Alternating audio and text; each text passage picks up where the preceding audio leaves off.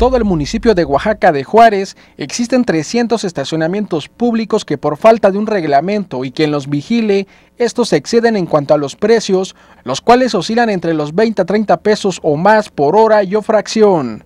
Según el artículo quinto del reglamento de estacionamientos para vehículos de motor del municipio de Oaxaca de Juárez, determinan las tarifas por hora, las cuales dependen de tres clasificaciones. A. Inmueble con techado permanente o estructura metálica, automóviles 12 pesos la hora, para camioneta o vehículo de 750 kilogramos de carga 14 pesos la hora. B. Inmuebles con superficie cubierta de material temporal, automóviles 10 pesos por hora para camionetas 14 pesos la hora.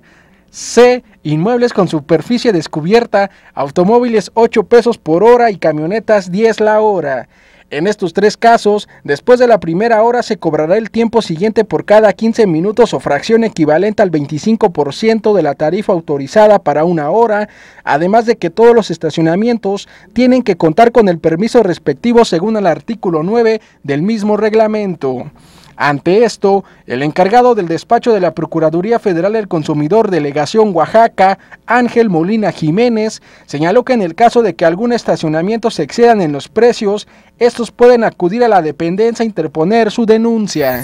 Bueno, aquí es importante mencionar que la Ley Federal de Protección al Consumidor lo que dispone es que tengan los precios a la vista del consumidor. ¿Sí? ¿Para qué? Para que el consumidor sepa cuál es la tarifa precisa del servicio que está adquiriendo. ¿Sí? y en cuanto a las tarifas, es importante mencionar que se sujetan a la oferta y la demanda. No, hay, no es un precio o una tarifa controlada como lo es el gas y la gasolina, que se publican mes con mes en el diario oficial de la Federación y son de carácter obligatorio. Sin embargo, estos, estos, estas tarifas pues no se encuentran reguladas por ninguna autoridad.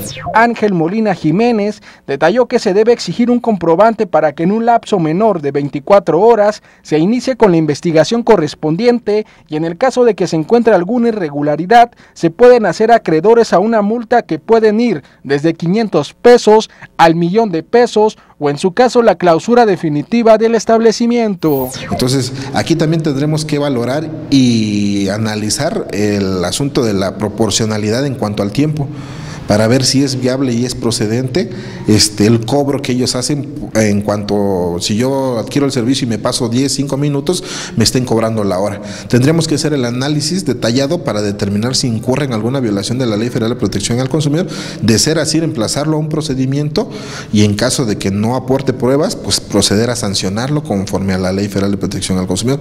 En caso de demostrar lo contrario, pues entendería que es legal, ¿no? Siempre y cuando lo dé a conocer al público en general.